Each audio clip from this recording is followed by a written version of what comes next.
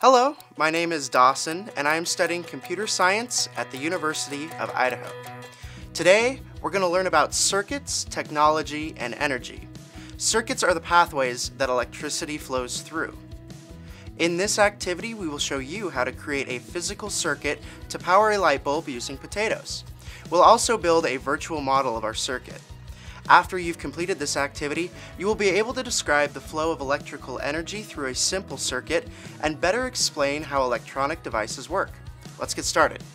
For this activity, each person or group working together to complete the activity will need the following 10 large sized potatoes, 5 sets of alligator clip wires. If you don't have these, they're easy to find in the hardware section of most box or hardware stores. You can also find a link to purchase them online on our website. 10 pennies, 10 galvanized nails. Galvanized just means the nails have a zinc coating that is essential to your activity working properly one LED. These are easy to find online. You can also visit our website for a link. Access to the 3D modeling program Tinkercad online at tinkercad.com. Once you have all your materials collected, you're ready to begin. Carefully place one galvanized nail and one copper penny into the potato wherever you like. Make sure the two different metals don't touch each other in the potato. If they're touching, a continuous loop won't be formed and your electrons can't flow. Connect one alligator clip wire to the end of the penny sticking out of the potato and the other alligator clip wire to the end of the nail sticking out of the potato. Connect the alligator clip that's connected to the penny to one of the LED leads. You may need to bend the leads on the LED to make them easier to clip. Connect the other alligator clip that's connected to the nail to the other LED lead. This will close your circuit, allowing the flow of electrons to be constantly moving. If you have enough voltage, your LED will light up. Depending on its size, each potato produces a different amount of voltage, or pressure pushing the electrical current through your circuit.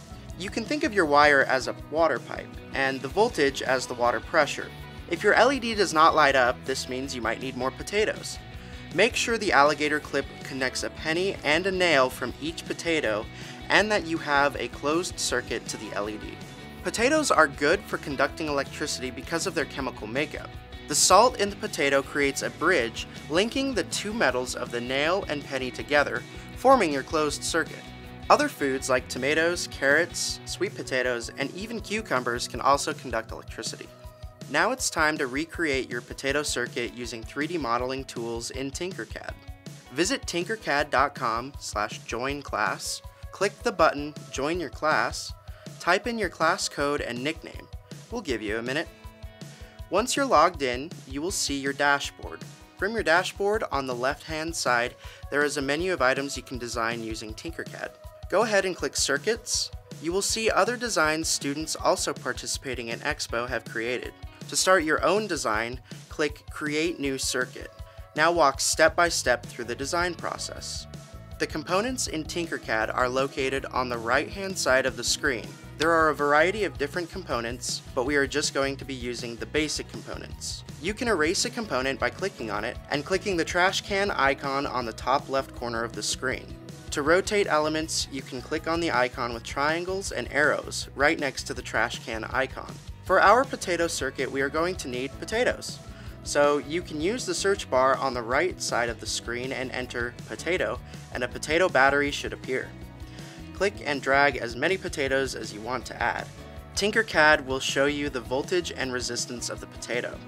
We are also going to need an LED light. You can go ahead and search LED and then drag it onto the screen.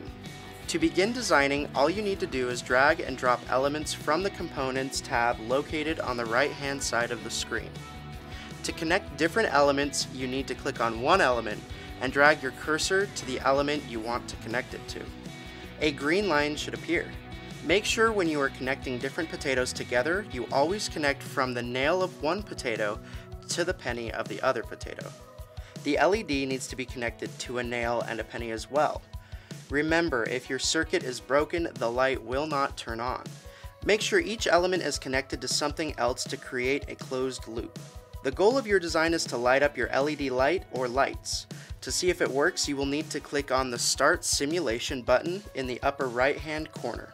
It has a play icon right next to it.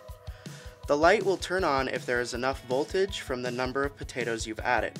To make your design unique, you can add different colors of LED lights, multiple potatoes, or multiple LED lights. To change the color of the LED lights, click on the light and click on the drop-down arrow next to color. There are many different colors to choose from. Feel free to play around with it to see how many potatoes are required to light one LED, and then add on from there.